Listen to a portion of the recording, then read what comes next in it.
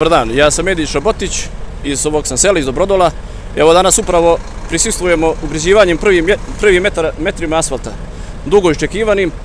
Želeo bih im putem da se zahvalim našoj dijaspori na, na svojoj organizaciji i svim ljudima koji su donirali svoj novac za, za ovaj put. I želim također da se zahvalim vladi Crne Gore i Petnici opštini, opštini Petnica. Ovo je velika stvar za naše selo, ne samo za naše selo, nego, nego iz opštine inače. Jer ovaj put nije samo za, za, za naše selo, ovaj put povezuje dvije opštine, našu Petničku i Belopojsku.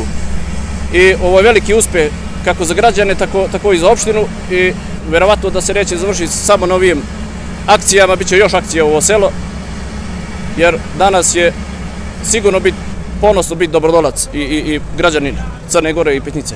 Da budemo, da budemo precizni, a mi se trenutno nalazimo u mjestu koje kako se zove, da bi tačno pojasnili odakle počinje asfalt i gdje se završava.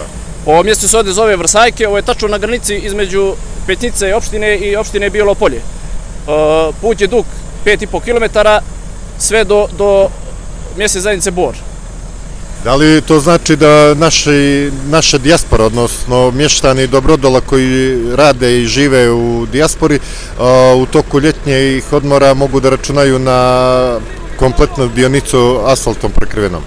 Pa sigurno, sigurno, sad naša dijaspora dolazi krajem ovog mjeseca i vjerovatno će biti odrađeno ovaj posao i neće više morati da lome svoje auta onim makadamom i lošim putom, bit će, bit će novi put. A, koliko dugo godina su mještani Dobrodola čekali ovaj asfalt?